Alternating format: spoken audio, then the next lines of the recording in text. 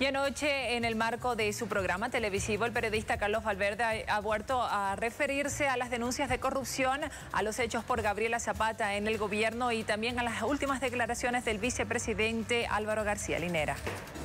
Uno no tiene la culpa de que los del gobierno sean corruptos en su gran mayoría. Deben haber algunos que no lo son.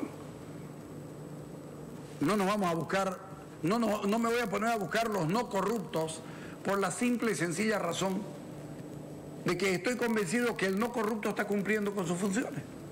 Que la señora Zapata haya sido eh, casi la dueña, usaba hasta vehículos de gestión social. ¿Se dan cuenta?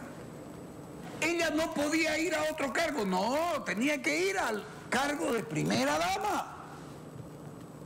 Y esa es culpa nuestra. Diciendo la verdad se componía esto.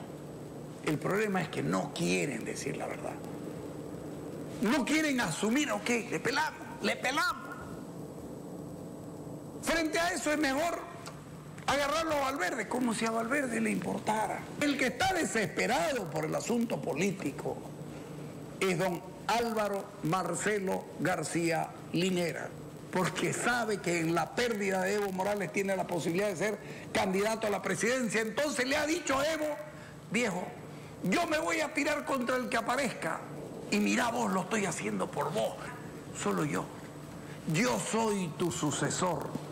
Yo soy la persona que mejor te va a cuidar la gestión, aunque yo personalmente estoy seguro de que no tuviera ningún problema en negarlo antes que el gallo cante tres veces.